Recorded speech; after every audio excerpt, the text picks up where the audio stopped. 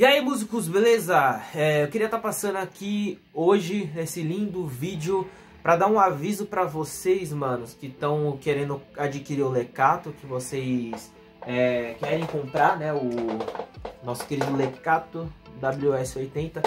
É, eu tava me preparando agora, mano, nesse exato momento para gravar um vídeo para vocês que provavelmente não vai sair essa semana, só na outra semana. É, a gente tava é, indo tocar uma música.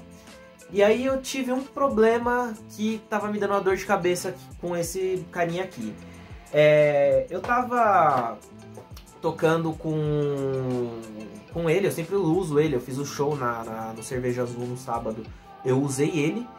E eu tive um, um, um probleminha com ele, assim que eu cheguei em casa eu já, já usei aqui para testar, né, para ver se estava tudo aqui. Eu tive um probleminha com ele, eu queria dar esse sacal para vocês, cara.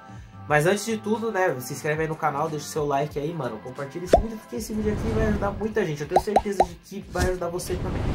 É, o que que acontece? O lecato, ele tem um costume de dar uma interferência muito chata. Quando você vai tocar ou quando você vai usar, ele, é, é, acontece na maioria das vezes ele ficar falhando, dele ficar perdendo o sinal, da, da, do som da guitarra ficar chiando, ele morreu o som e volta, aí dá uns 5 segundos depois ele morre de novo e volta. O que que acontece? É, o Lecato ele trabalha com uma frequência tipo aquelas frequências de walk-talk, tá ligado? Com os canaizinhos dele tudo certinho, separado. E eu percebi hoje, depois de quebrar muita cabeça, de passar muito nervoso, na verdade, não fui só eu que descobri, foi a Lady Zash que tá tocando aqui do lado. Faz um joinha aí, parece só o bracinho. Ela ajudou, a gente pesquisou e eu percebi que ele tem uma, uma função que a gente consegue trocar os canais dele para que não há essa interferência, porque assim como a, a Erika usa, eu também uso o Lecato. E aí o que, que pode acontecer? Ele dá essas, essas certas interferências. Vocês estão lá usando ele, tá vendo? Ele tá aqui, bonitinho. Tá aqui, ó. Tá, tá ligado no amplificador, ó. Você tá vendo que ele tá fazendo os barulhos aí, né? E o que acontece? Na maioria das vezes você tá tocando e o outro que fica ali no, no amplificador, ele começa a piscar. Os olhinhos dele começam a piscar e começa a falhar o sinal. Né? Vocês estão vendo aqui? Começa a falhar o sinal. E o que, que você faz? Quando vocês verem que tá acontecendo essa, essa queda de transmissão, essa, tá, tá, tá acontecendo essa, essa oscilação, vocês vêm aqui no Lecato e apertem, tá vendo esse botão? Vocês apertem ele duas vezes. Ele vai trocar de canal, tá vendo? Aqui ele tá no canal 2, ele deu dois, duas piscadas. Ele tá no canal 2, canal 3 e canal 4. Entendeu? Aí o que, que vocês vão fazendo? Vocês vão testando. Tipo, você tocou no canal 1, tá dando essa interferência. Vocês vão lá e apertam. Aqui no caso o canal 4, né, que tava. Agora ele foi pro... pro... Ah, é, tem isso também, né? Cada piscada, ó, uma vez canal 1, duas vezes canal 2, três vezes aqui canal 3, canal 4, é o mais longo de todos. Aí aqui ele troca pro primeiro canal. E aí você vai alternando e vendo se ainda tá acontecendo é, a oscilação, sempre alternando de canais, tá ligado? É, eu fiz esse teste aqui, deu muita oscilação. O canal que tava aqui, eu acho que se eu não me engano, tava no 1. Aí eu fiz essa volta toda, voltei pro 1 e parou de, de oscilar. É, tava dando muita dor de cabeça isso aqui, tá ligado? Eu tava pesquisando, não tava achando. Teve pesquisa em fóruns, pessoal falando que tava tendo esse problema de queda de sinal. E assim, é, é um bagulho que tô falando isso daqui para ajudar vocês, tá ligado? É, tentem aí, vejam. Sempre, se vocês verem que tá acontecendo, tá tendo essa queda, troca de canal. Aí tá acontecendo no outro canal, vai trocando, vai trocando, vai trocando, que uma hora ele para, a, a frequência dele fica certinha, entendeu? Eu tava aqui, até eu estranhei, porque esse barulho de coisa estourando não tinha. Tava muito estranho. O canal que ele estava selecionado estava bem, bem zoado mesmo. Não sei se ele vai dar. Eu troquei de canal aqui, vamos ver.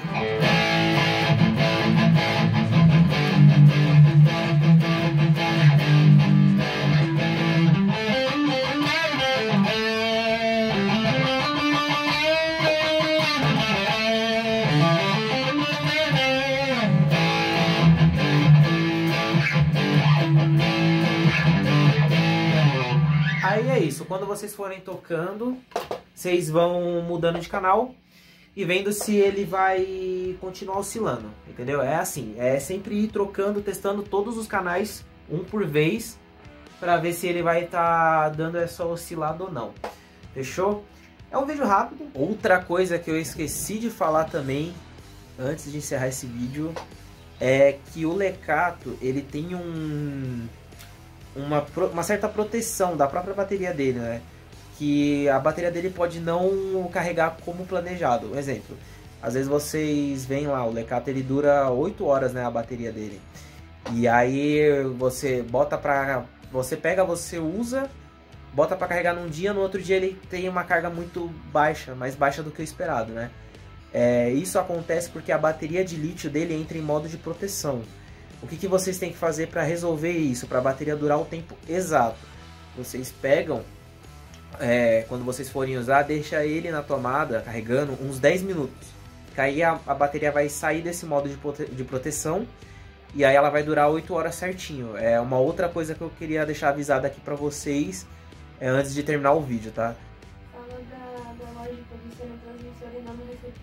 Ah, é a questão de. Os caras foi bem esperto, né? Eles colocaram justamente aqui no transmissor, porque às vezes as pessoas pensam, pô, tem que apertar os dois botões, né? Tipo, tanto do, do receptor, né, que fica no amplificador, quanto do transmissor. Não, é só você apertar o do transmissor, porque isso daqui foi justamente feito para se caso você tá num show, você tá em algum. tá lá tocando e começa a perder sinal. Você aperta aqui, ó. Você vem aqui com. tá lá tocando, para rapidinho, dá duas apertadas dois cliques, ele já troca, tá ligado? Continuou, dá dois cliques, tá ligado? É, é assim, foi bem pensado isso, porque realmente o Lecato, ele tem um problema de interferência de sinal muito grande, ele tem uma interferência muito grande, tá ligado? E é isso, galera, era, era essa dica aqui que eu queria dar pra vocês aqui, tá ligado? É, tá, tá, tá forte sinal aqui do bagulho, mano. E é isso, galera. Espero que vocês tenham gostado, tá ligado? Compartilha, porque às vezes alguém é, usa o Lecato, não sabe, tá ligado? Que tem essa, essa função. Às vezes a pessoa compra, lê o manual, às vezes nem no manual, no, no próprio manual não fala como tirar a interferência, que, que é certeza que esse bagulho do canal tira a interferência, tá ligado? A gente teve que pesquisar aqui num site. O manual só mostra os canais. Só mostra os canais disponíveis, né? No site que fala que, que tem a troca para evitar essa interferência, tá ligado? E é isso, cara. É, é, exatamente igual um walk talk, tá ligado? Tá tendo chiado, tá tendo interferência, troca de canal que é sempre vai dar. Vai ter alguma outra coisa ali pra você estar mexendo. Uma coisa que eu percebi é que nessa troca de canal, não sei se foi na minha cabeça, é, mas a Erika tá aqui como prova. Eu troquei o canal e aumentou o som da guitarra. Não sei se, se mexeu alguma coisa, não sei, mas aumentou, tá ligado? E é isso, pessoal. Espero que vocês tenham gostado do vídeo. Compartilhe para quem precisa, quem tem. E tamo junto. Se inscreve aí no canal, vamos bater mil inscritos logo. Tamo junto, galera. Falou, mano.